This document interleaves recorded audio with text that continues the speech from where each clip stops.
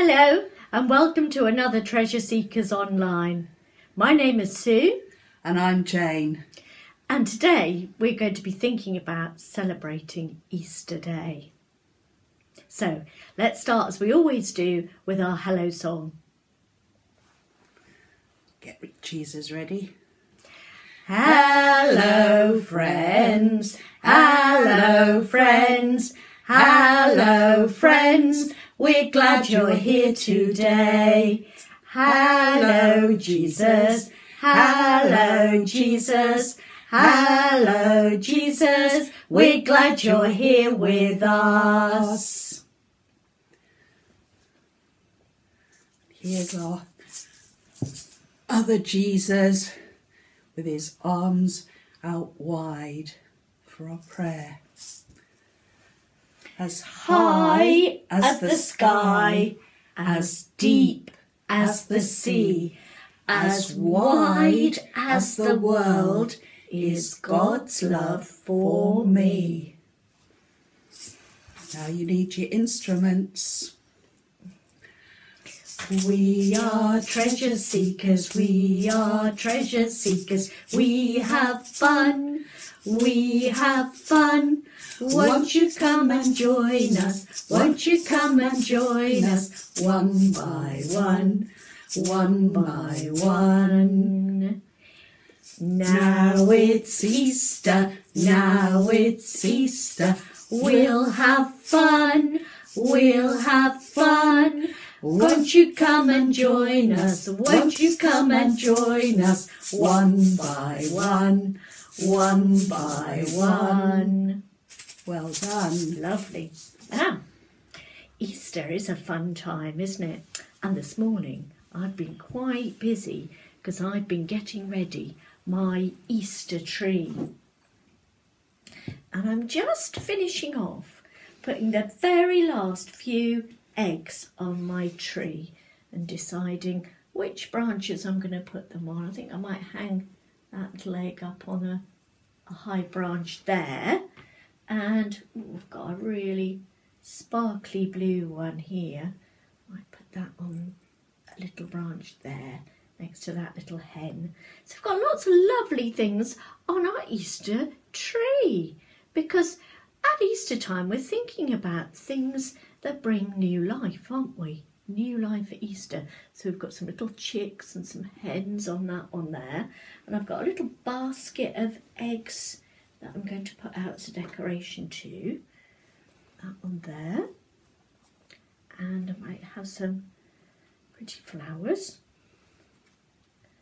at the base of my tree. There's like that.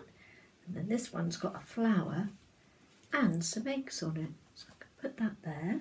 And I've got a, a little Easter nest. A little speckled egg, reminds me a little bit of the kind of egg that a hen might lay. So we'll have mother hen there. And then some eggs, they're good to eat, aren't they? So we might have our little hen Easter egg there a pretend egg inside it.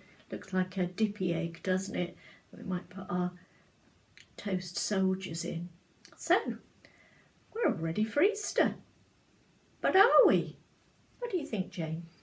Well, we've got an Easter time song, but the song tells us that it's not just a time for bunnies and a time for eggs. It's all about Jesus too. So we'll put Jesus right at the front. Mm. You might know the tune to this song. Right. Easter time, Easter time, we, have, so much to do. Time for bunnies, time for eggs, but time for Jesus too. Oh, Easter time, Easter time, Jesus showed his love. He died for us and rose again. He's with the Lord above. Well done. Now I wonder if any of you had some of these on Friday. Hot cross buns. You can see the cross. We've got a song to sing about that. It goes like this. Sing a song of Easter when we eat hot cross buns. The cross there to remind us what happened to God's Son. But now the tomb is empty, the stone is rolled away. Come join our celebration. Jesus rose on Easter Day. And that's what we're going to hear about today. Last time in our story, we finished at a really sad point. Jesus had died on the cross, and the friends were sad and had run away to hide because they were afraid. But two other friends, called Joseph and Nicodemus, decided that they would go and see the Romans to ask for Jesus' body so that they could put it carefully in a tomb, which was like a cave carved into the rock. Joseph had had his own tomb made quite near where Jesus was. It was in a garden. So Joseph and Nicodemus went to the Romans in charge and asked for the body. They said yes, the men could have Jesus' body. So, very carefully, they took the body down from the cross and laid it on clean, fresh linen. Then they carefully carried the body down into the garden nearby, following down the path. And when they got there, they very gently laid Jesus' body on a stone table, like a bed inside the tomb.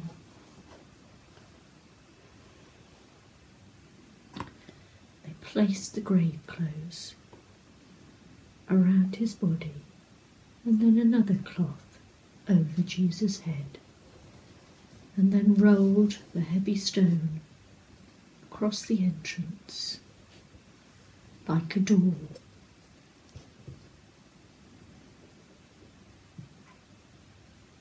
And they had done all that they could do.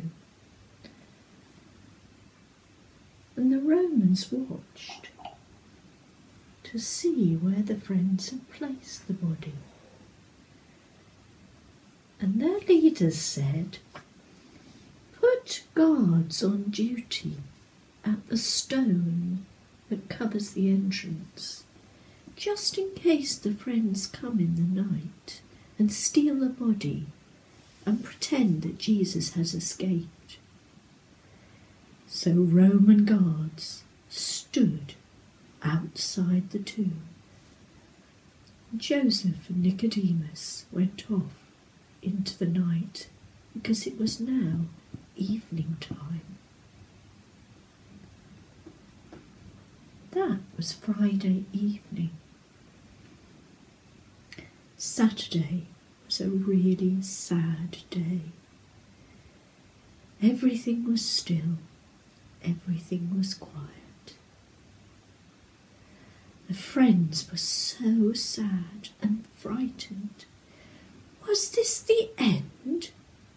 Was Jesus the rescuer gone? How could God have allowed him to die and go into a stone cold tomb? It seemed impossible. That day seemed to last forever. The friends couldn't sleep they just worried and wept. But then, very early on Sunday morning, Mary, one of Jesus' special friends, and some other ladies who were friends of Jesus decided that they needed to do something. They knew that Joseph and Nicodemus had had to place Jesus' body in the tomb very quickly on Friday evening. So it hadn't been washed and it hadn't been prepared with spices and oils. So they wanted to do one last thing for their friend Jesus. So they went down into the garden through the gloom. The sun had not yet come up. It was dark. And as they walked, they said to one another, How will we move that heavy stone from the entrance? But then an incredible thing happened. The earth started to quake and shake, and an angel of the Lord appeared and rolled back the stone from the entrance of the tomb. The Roman soldiers were so frightened that they froze like dead men. And then another angel appeared. Two angels, one where Jesus' head had been, and one where Jesus' feet had been. The women looked terrified. So the angel said to them, Don't be afraid. Why have you come to a place for dead people to look for someone who is alive? Alive? Alive? They had seen that Jesus was dead. What was the angel telling them? Go, said the angel, go back to the other friends and tell them what you have seen that Jesus of Nazareth is alive. The women were astonished. They didn't know what to think, but they knew they had to tell this friend, the friends, this news. So they rushed back along the path, back to the house where all Jesus' friends were hiding. And when they got there, they explained the news how the stone had been rolled aside, and how angels had appeared and told them that Jesus was alive. The friends could not believe what the women were saying, and Peter and John said, How is this true? They felt they had to see for themselves. So Peter and John ran along the same path towards the tomb. John ran faster, and he got to the tomb first.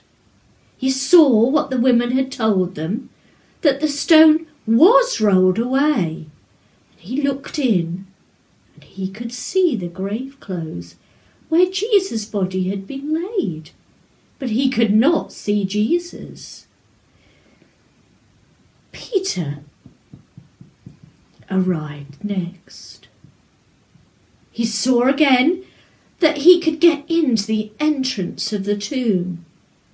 So Peter, wanting to find out was this real, took himself right into the tomb so he could look all around to see if the body was hidden anywhere. But it wasn't. All he could see was the white linen the piece that had been round Jesus' body and the separate piece that had been around Jesus' head. Jesus really was gone. Was this true? Was the angel's message really true? Had something happened to make Jesus alive again? Peter and John returned back to tell the other friends what they had seen. But Mary, confused and still sad, waited in the garden, looking at the two. Then, suddenly, as she stood there weeping, she noticed that there was somebody else in the garden too. Thinking this must be a gardener, she called out, Gardener, if you have taken Jesus' body, please show me where you have put it so I can go and see it.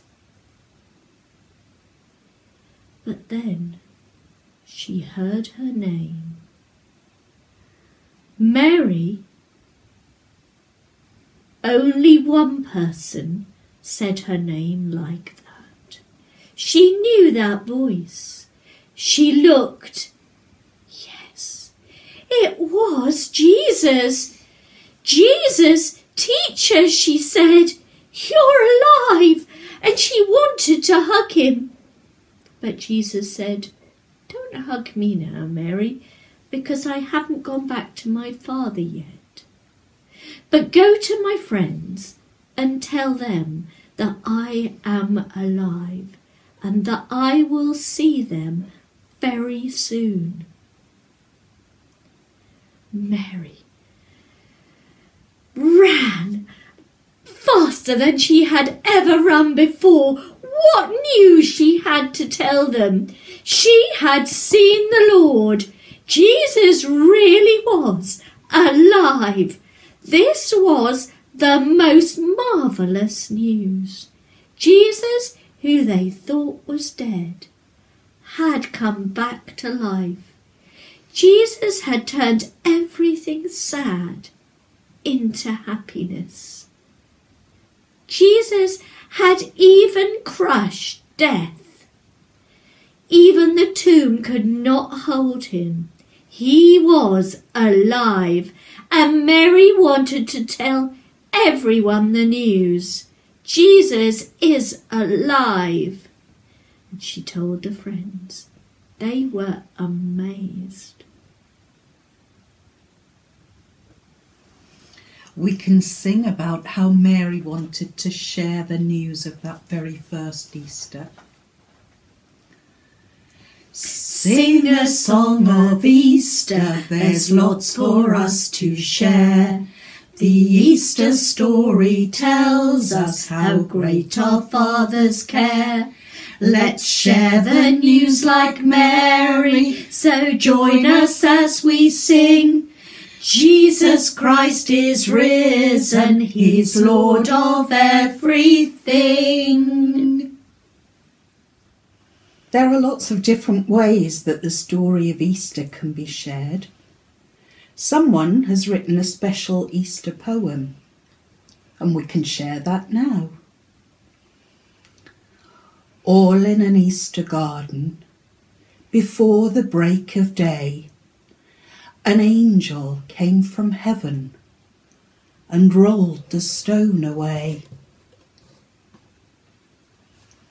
When Jesus' friends came seeking with myrrh and spices rare, they found the angels at the door, but Jesus was not there. All in an Easter garden where trees and flowers bloom. The angels gave their message beside an empty tomb. The Lord is here no longer. Come, see where once he lay. The Lord of life is risen indeed, for this is Easter Day.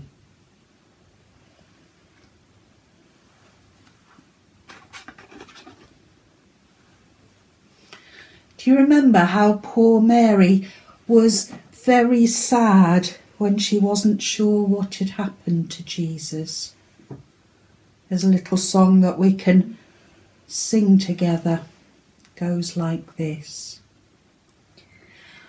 Poor Mary is a weeping, a weeping, a weeping. Poor Mary is a weeping, for she misses her friend. But Jesus, he is living, is living, is living. But Jesus, he is living on the first Easter day.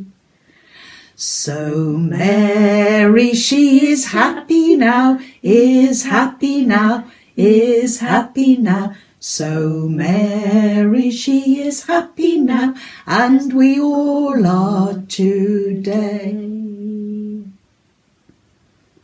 Thank you if you joined in with us. There's something else that you can join in with now. We're going to do a little action rhyme, so you'll need your hands ready. So the first thing we're going to do is to make some trees in a garden. If you remember, Jesus prayed in a garden. For the next action, we're going to take our fingers and we're going to make them into a cross shape. That's right. For the next one, we're going to use our hands to make a tomb. So make a fist. There's our tomb on the ground.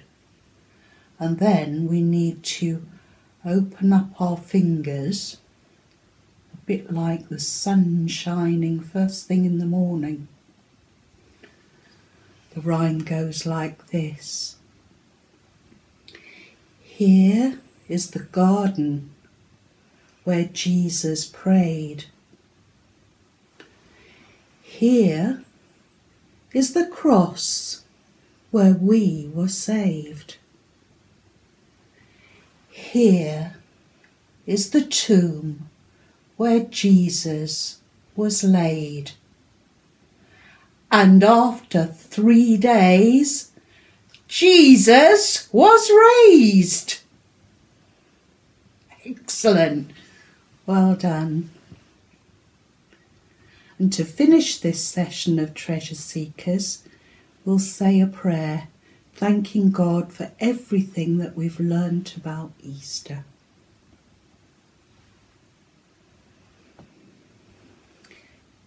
Dear Father God, thank you for the Easter story.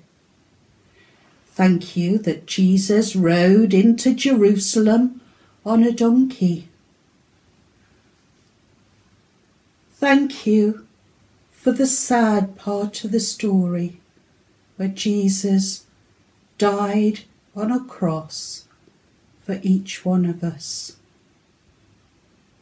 But thank you most of all for the good news of Easter Day and the empty tomb. And we know that Jesus is alive. So, when you tuck into your Easter eggs a bit later on today, oh, when we open them, they're empty because the tomb was empty. Because Jesus wasn't dead, Jesus was alive, and he's alive today. So, Happy Easter, everyone. He is risen. He is risen indeed. Hallelujah. See you next time. Bye-bye. Bye. See you soon. Bye.